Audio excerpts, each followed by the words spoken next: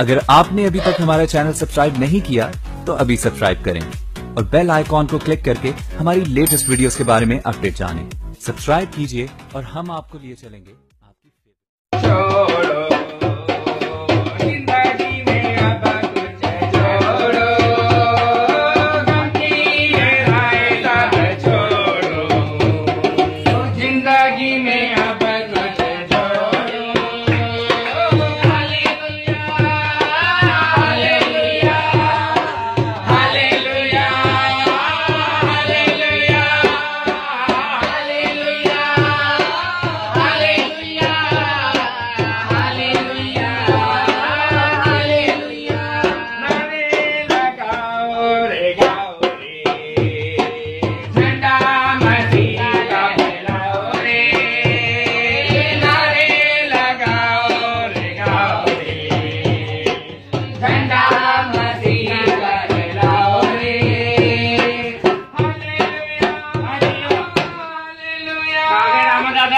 देवी क्या देवी